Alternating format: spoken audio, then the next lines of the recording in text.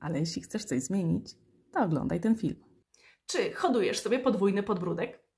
Sprawdźmy. Jeśli korzystasz z telefonu w pozycji pochylonej, telefon trzymasz nisko, to trzymaj go wysoko, żeby nie powodować sobie podwójnego podbródka.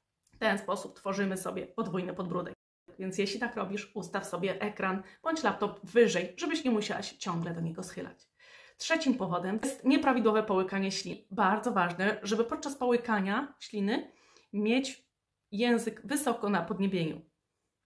Kolejnym powodem, dla którego może Ci wyrastać podwójny podbródek, jest nieprawidłowe spanie. Jeśli śpimy w nieprawidłowej pozycji, w zgięciu, to wtedy też ten podbródek może nam po prostu rosnąć większy. W innych filmach przedstawię Wam ćwiczenia oraz masaż na likwidację dodatkowego podbródka. Nie podoba Ci się mój podbródek? Skądże?